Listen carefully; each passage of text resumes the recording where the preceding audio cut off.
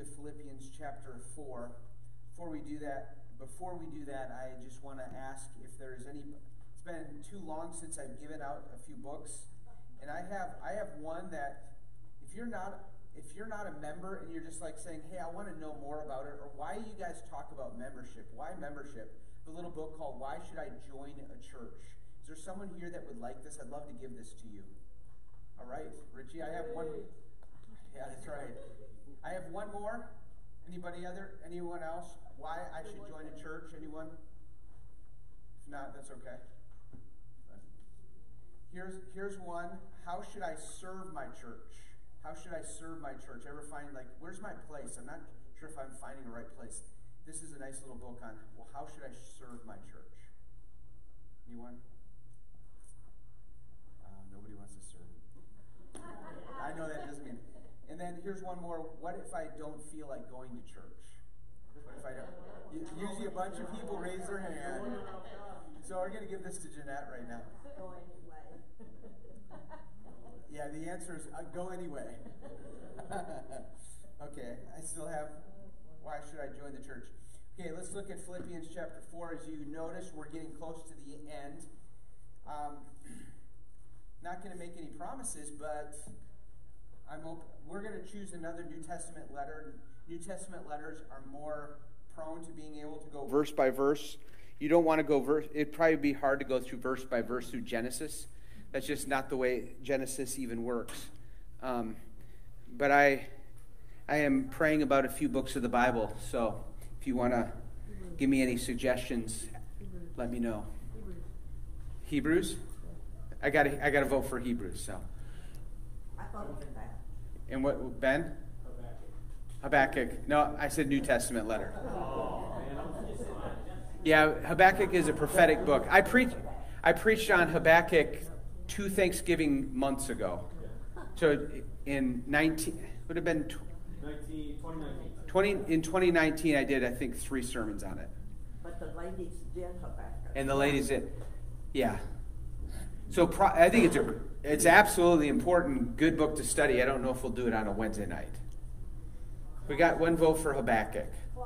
I mean Hebrews. We got H's. Okay, Colossians.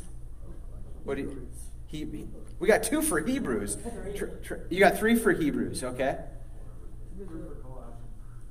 Two for we got two for Colossians. Third Okay.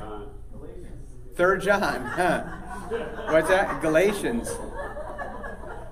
You know, they're, the other 60 minutes? yeah. So they're those those are all really good books.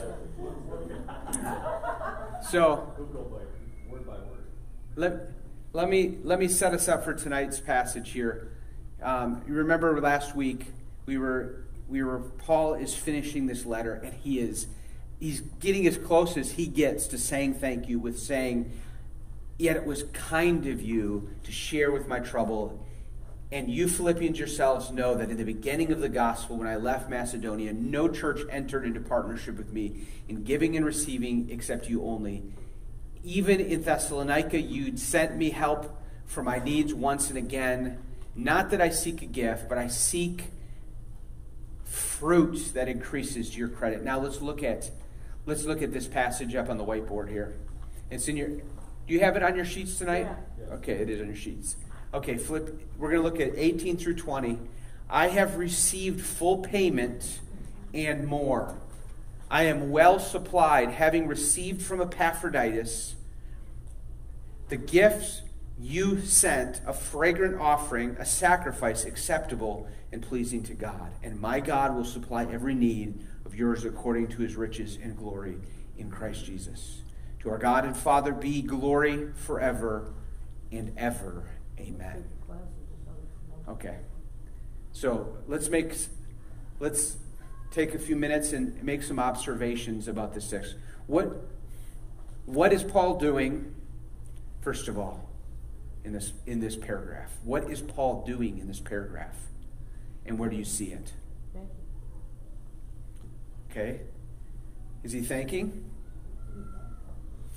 In some ways he is. Where do you see that? Well, if you read the whole thing, he's kind of like thanking people for supplying his needs. Okay? In verse 8, 18, he's definitely, we're seeing him. He's saying, I've received full payment and more. He is, I am well supplied, having received from Epaphroditus the gifts you sent, a fragrant offering, sacrifice acceptable unto God. There is gratitude in his heart. What else is he doing here, Dave? I think it's a double confirmation of what he was saying beforehand. Yeah. Right? Both I am I have received full payment, so I am full and you will be as well. Yeah, this idea here, this full payment, is that I all my needs have been met. All my I've been supplied fully, and there's this. He's just encouraging them, and there's a gratitude. Yes, Ryan. I think he's reinforcing that uh, you give and you're helping the gospel that it's, it's pleasing to God. Yeah. So, so what? By doing that, what is he trying to do for the Philippians? So he's encouraging them, showing them the fruit of their work, and, and in so doing, he's seeking to encourage them. And so he encourages them. Okay, Brian brought out, he encourages them by saying, you know, these gifts that you've sent, he, call, he says they're a fragrant offering. What kind of, what's, what's that, what does that mean? A fragrant offering. Was in the Old Testament, whenever they sacrificed the Israelites, Yeah. God was pleased. When he, it was like there was a pleasing aroma. Um, would someone real quickly read Ephesians 5 1 and 2? Ephesians 5 1 and 2. When someone has it, kind of lift your head up and. You got it, Dan? Go ahead, read it. Afterward, Moses and Aaron No, went- oh, Ephesians 5. oh, I didn't- that's it. It starts with oh, the- I, I promise you, Exodus is a real good book, though. Ephesians 5 1, especially 1 into 2. Therefore be imitators hmm of God as dear children, and walk in love as Christ also has loved us and given himself for us, an offering and a sacrifice to God for a sweet smelling aroma. a sw- as and so there's a sweet smelling aroma same idea right here is the fragrant offering. And who is this and what does he describe as the fragrant offering in that passage? Christ's dying love for us is a fragrant offering. Here what a, what a high compliment as he says it is a fragrant offering. Just like we see in ephesians 5 1 and 2 and then, but he goes, he says it's a, it's a sacrifice. There's again the Old Testament imagery of offering up our sacrifices unto God, and it was acceptable. It, it's it's a sacrifice that's acceptable, and and as Ryan you brought up, it's pleasing to God. You, what you did is pleasing to God as you gave. Okay, what, what else do you? s- Yeah. And I think just to continue that a bit, is he's referencing that fragrant offering in, in Christ's sacrifice, right? Mm. And just a few verses before this, right? You were indeed concerned for me, but you had no opportunity. Yeah. So they're actually giving, but giving sacrificially. Yeah. I think there's even more Yeah. there, right? Yeah, and there was a, a deep sacrifice. Even even as you bring this up, I mean, as, as he's they're finishing this letter, he wants Epaphroditus was a big deal. If you remember Epaphroditus, look at chapter two. Turn your Bibles to Philippians two. Look at the very end of Philippians two. Remember, see, he, he speaks high praise of this man when he says,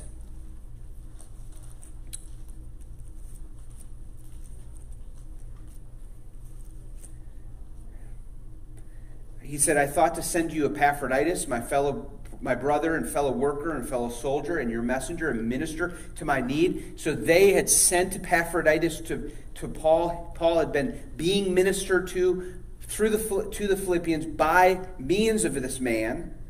And he says he was longing for he was sick he was ill and he was distressed because they heard this. Indeed, he was ill near to death, but God had mercy on him, and not only on him, but also on me, lest I should have sorrow upon sorrow. I am the more eager to send him to you, therefore, that you may rejoice at seeing him again, and that I may be less anxious. So receive him in the Lord with all joy and honor such men, for they nearly died for the work of Christ, risking his life to complete that which was lacking in your service to me.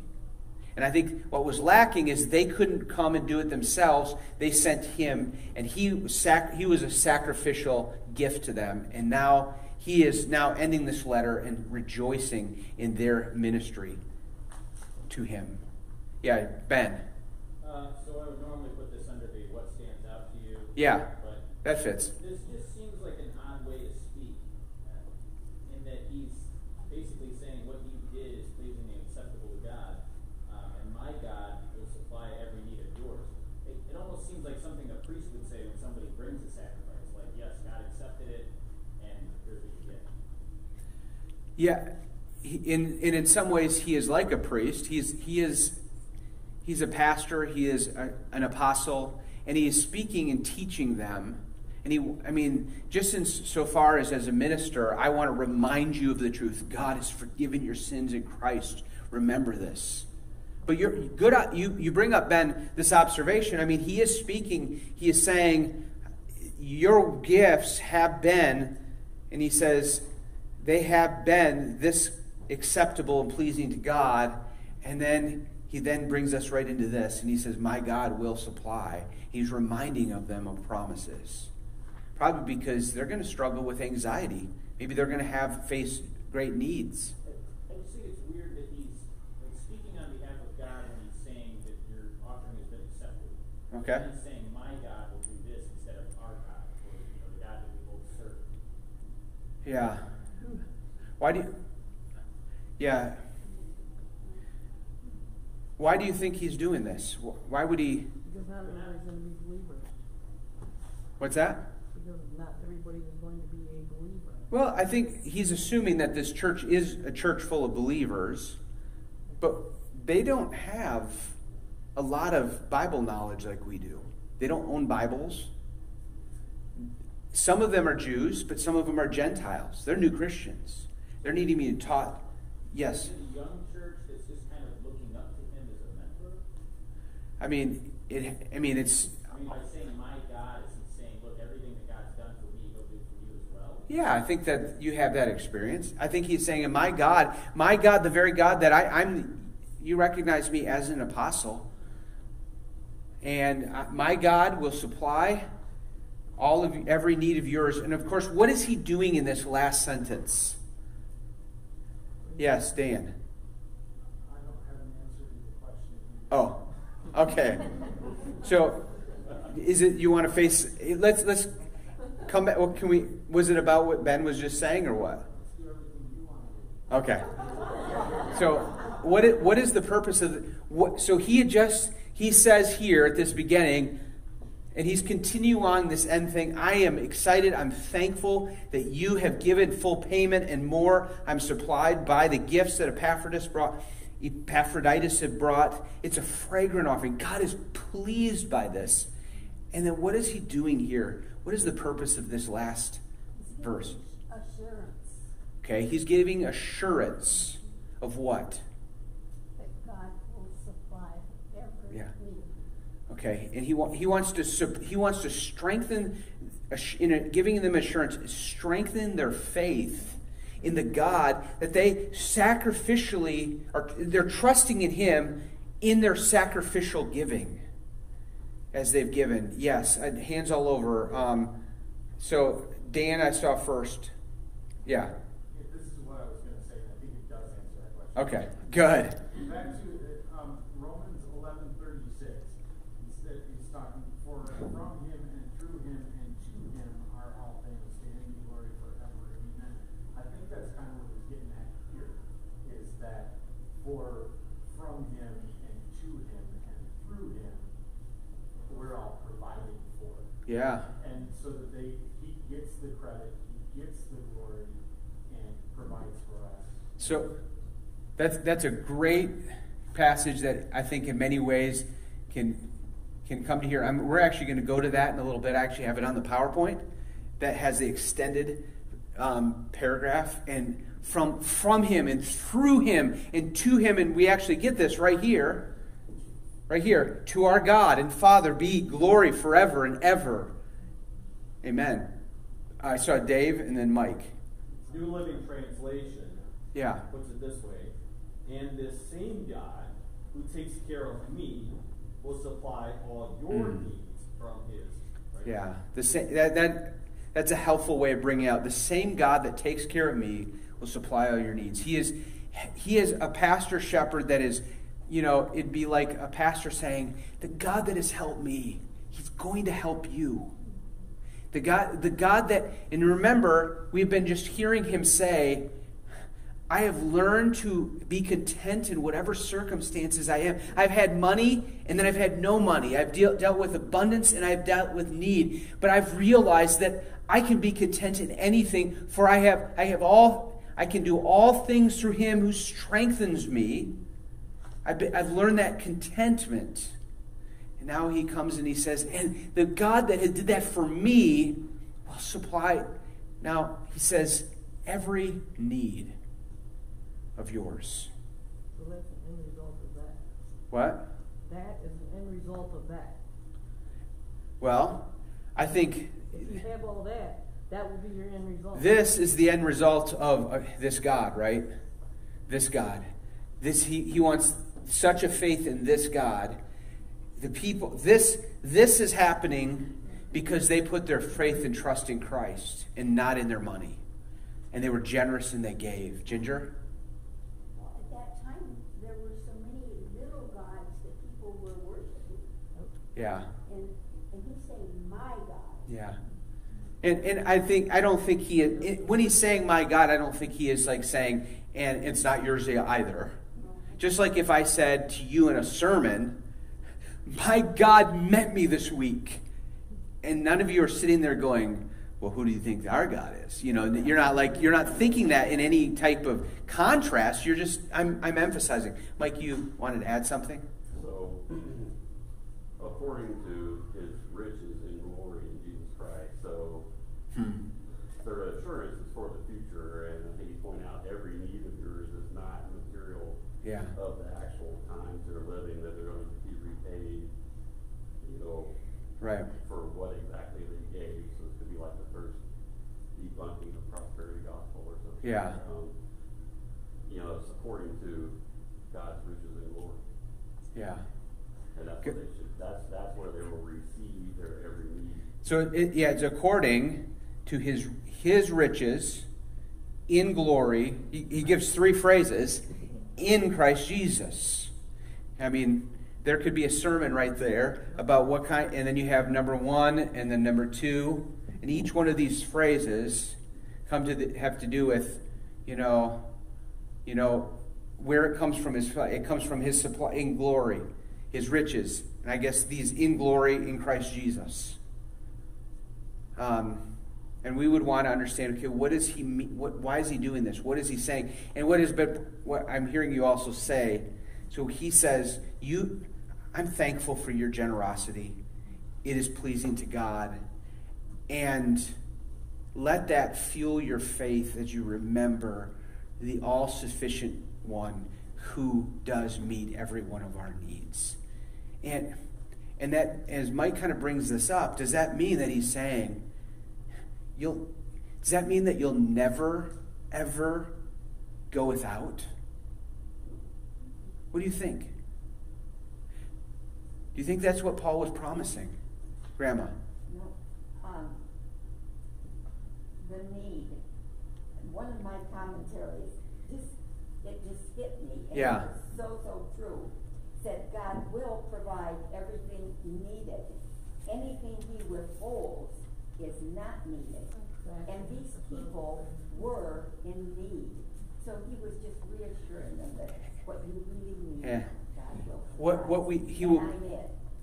Hear that? Everything that we truly need, He will supply.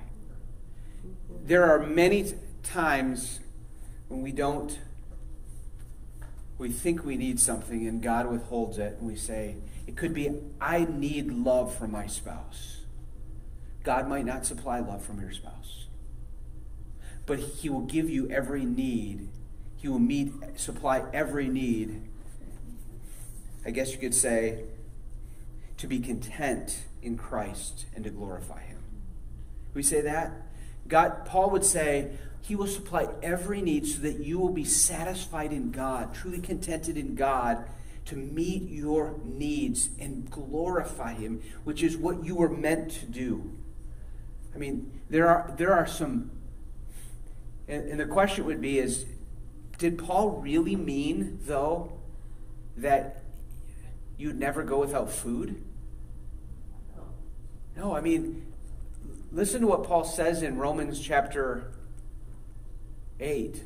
He says, this passage says some beautiful things. He says, He who did not spare his own son, but gave him up for us all, how will he not also with him graciously give us all things?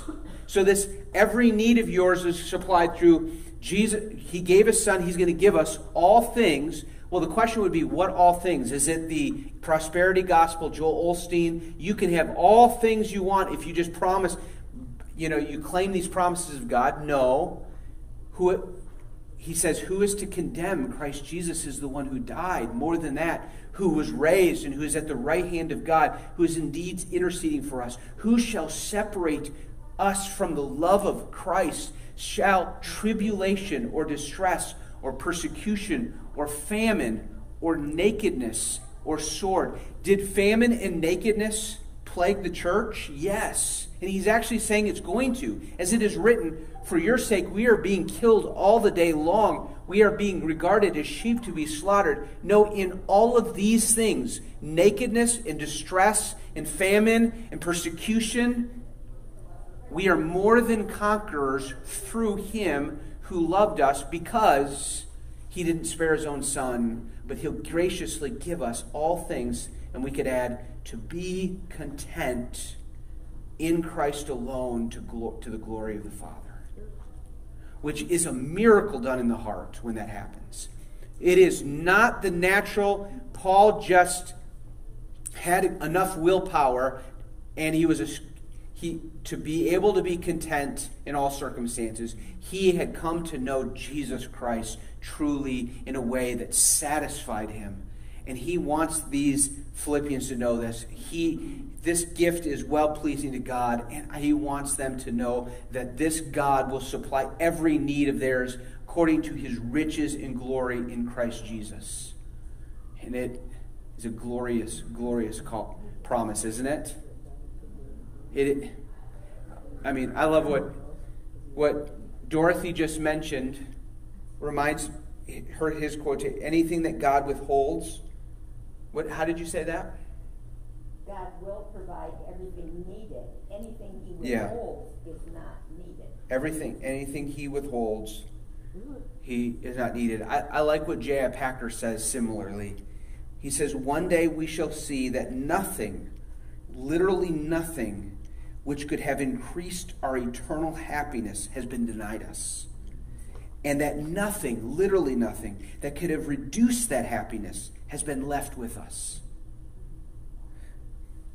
No, because He is working all things for our great and eternal joy, and He is going to supply everything. And this it is a walk of faith in Christ. Or as John Newton wrote in a letter very similarly, he says, All shall work together for good. Everything is needful that God sends and nothing can be needful that he withholds from us. Everything is needful that God sends. He sends a tribulation in your life, it's needful. And if he withholds something that you want so badly, it's what he intended. But for what purpose? Okay? To grow our faith sanctification. I guess we could put all what what, what why else? What does it mean to be sanctified?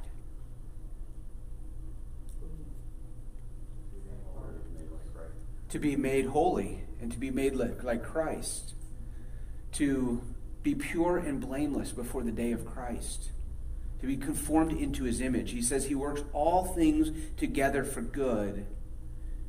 And then he, he says, to, in order that we may be conformed into the image of his dear Son.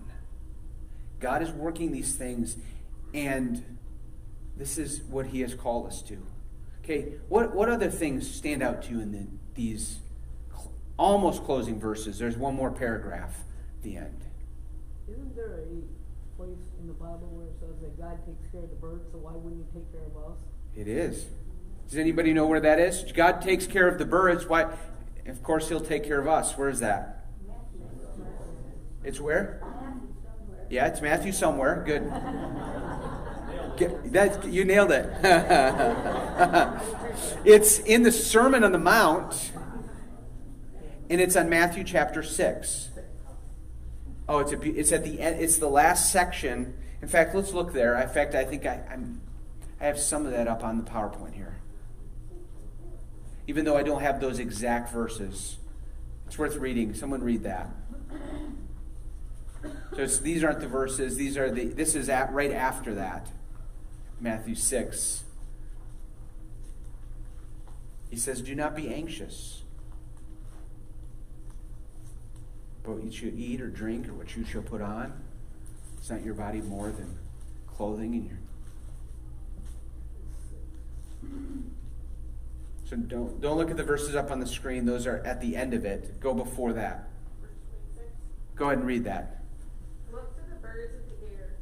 They neither sow nor reap nor gather into barns, and yet your heavenly Father feeds them. Are you not are you not of more value than they?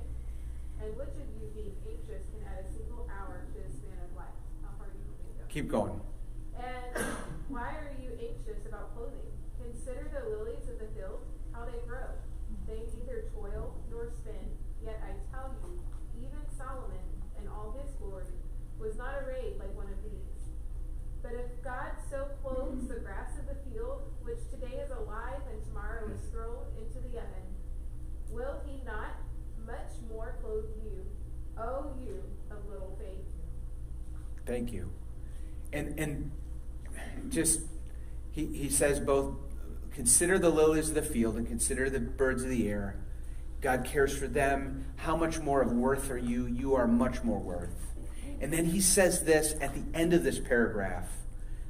Therefore, do not be anxious of what you eat or drink or what you shall wear, for the Gentiles seek after all these things, and your heavenly Father knows that you need them all.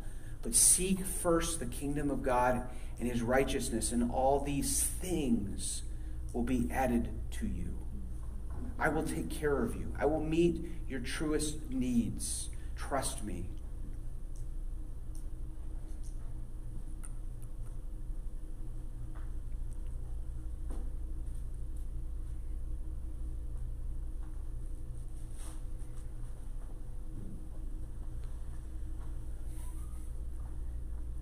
For the Christian, where does God's promises and supply come to us from?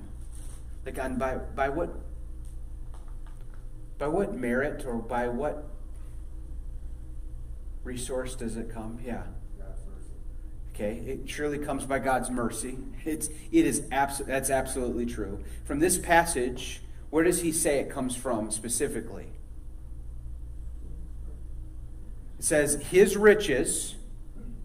That's a big deal. He's really rich. He has, and, and we, we would want to study and say, what does that mean in glory? His riches in glory. I think his riches that are glorious, they come from this glorious God who is in heaven, and, and yet they're rooted in because of Jesus Christ. When it says in Christ Jesus, what does that mean in Christ Jesus? What? Sacrifice. Okay. Sac- sacrifice, but God sacrificed his son so Mhm. that we can be with him and be free. God sacrificed his son so that we can be with him and be free. Yes. In Christ Jesus, meaning you're part of a body, you're a saint. Okay. You you have you have entered into this union with Christ. Yeah, you are into that and you are receive all the benefits because you are it's based on his name. And it, it is what kathy said uh, based on his sacrifice. We are now because of his name he accepts us and he supplies all that he would give on the son of man to the son i mean the son of god goes to us. And this is based on what jesus has done for us.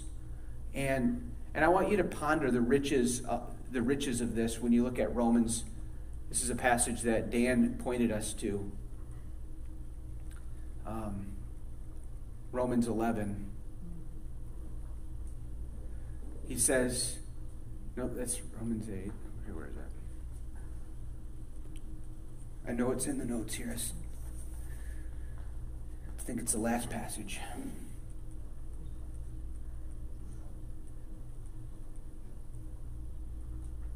You nervous, Julie? Yes. Let's find it.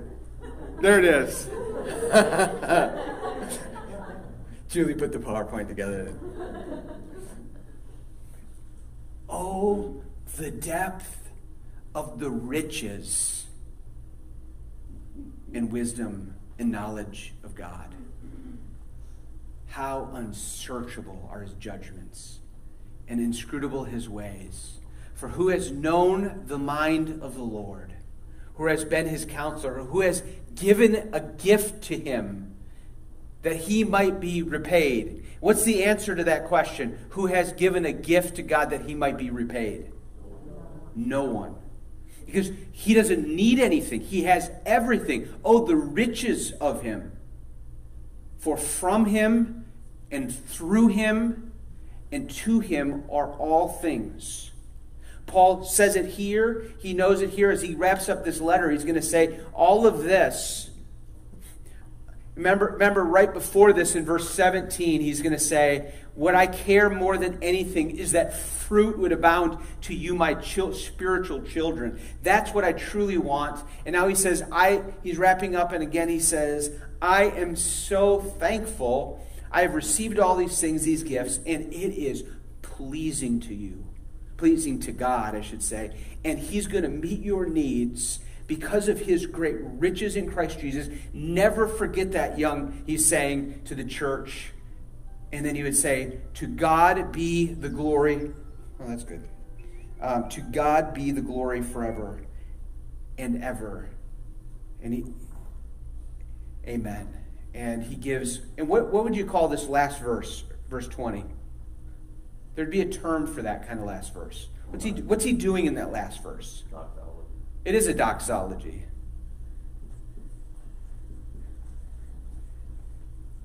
And he's and this is something that's Paul brings out many times. He brings it out at the end of chapter 11. He brings it up in chapter 1 um, at verse 11. He, he talks about to the glory of God in all things. And the, the one thing, and maybe we'll talk about this next week as we finish up in that last paragraph, is Paul says, Your, your offering was pleasing to God. There is a way in which we should live to please God, and there is a way in which we wrongfully seek to please God.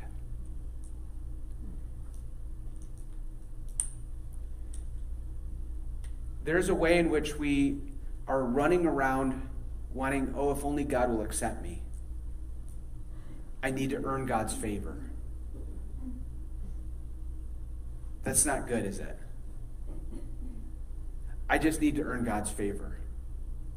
I just need Him to accept me. If only He would accept me, I'm going to do these things for God to accept me. There's another attitude that says, it's amazing. God accepts me in Christ Jesus. He has cast his love upon me. He's never going to stop doing good for me. I want to please him. I want to please my Father in heaven. There's a, there's a difference between those two things, isn't there? There's a big difference. There's a difference between heaven and hell there. You are not going to heaven if your trajectory is only, I have to work so that God will be pleased and accept me in the end. Because you are putting your faith and your trust in your ability to be acceptable to God. But that is not what Paul is saying here. And there are many times in which he speaks this way that the heart of a true believer is, He has accepted me. And because that I want to please Him. It's like a father, it's like a child who is absolutely, completely secure that his dad loves him and he just loves to please his dad. And there's no way he's trying to earn his sonship. It's just, and, and that is where God is bringing us and wants us to be, because a mark of a child of God is him or her that pleases God. And there are many passages that speak to this. We're not going to go into them tonight because I want to get into prayer. Is there any other questions or comments about this passage before we? Yeah, Ginger?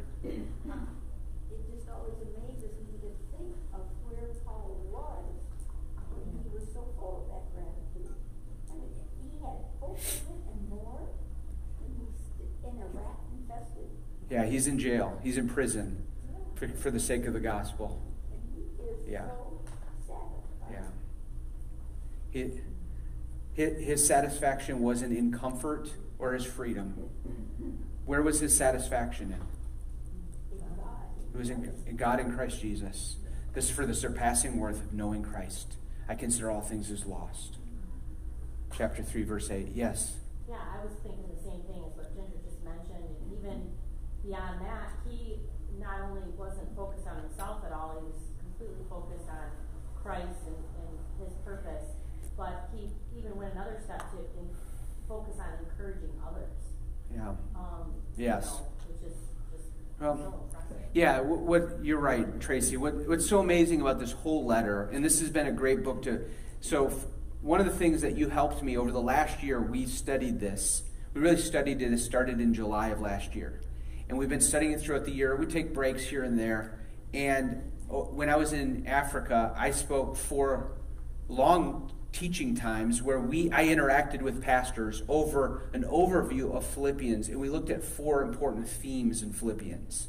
And one of the great themes was his ministry to the others in the midst in con, you know contrasting by his circumstances which really highlight the type of servant jesus servant like heart that he is modeling and calling us to. And, and so my four sermons on that were my four sermons were one was we need to if we're going to be christians or if we're going to just be leaders because i was talking to pastors we need to see certain things with spiritual eyes and in Paul, I pointed out all these things that Paul saw things differently. He saw Jesus differently. He saw ministry differently. He saw all these, he saw prayer differently. He saw service differently. He saw giving differently. He saw them with spiritual eyes. And then he served in a different way. He served and he sacrificed in a different way. And he rejoiced in a different way. And we see that kind of theme coming through in this letter. An awesome letter.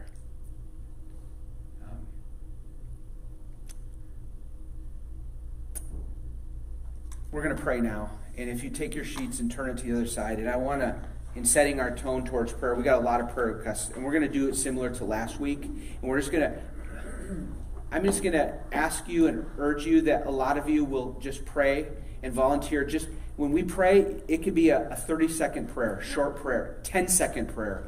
Dear God, please be with so and so, and that's all. You do not have to pray long. I want to, I want to, I want to kind of set the tone here by reading something from this book called Only a Prayer Meeting by Spurgeon. Think 150 years ago, Charles Spurgeon said this in a meeting on, a, on probably a Wednesday night. What a company we have here tonight. It fills my heart with gladness and my eyes with tears of joy to see so many hundreds of persons gathered together. Wouldn't that be awesome? Hundreds of persons gathered together at what is sometimes wickedly described as only a prayer meeting, which is the title of the book.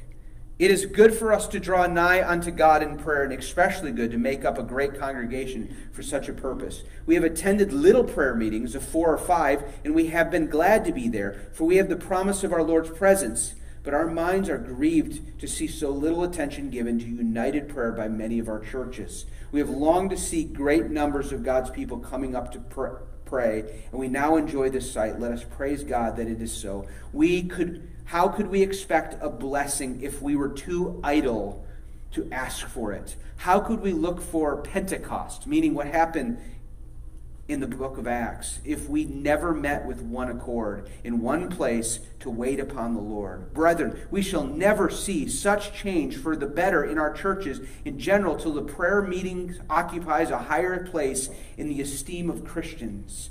To mix it up with the weekend lecture and really make an end of it is a sad sign of declension. I wonder some two or three earnest souls in such churches do not band themselves together to restore the prayer meeting and bind themselves with a pledge to keep it up, whether the minister will come to it or not.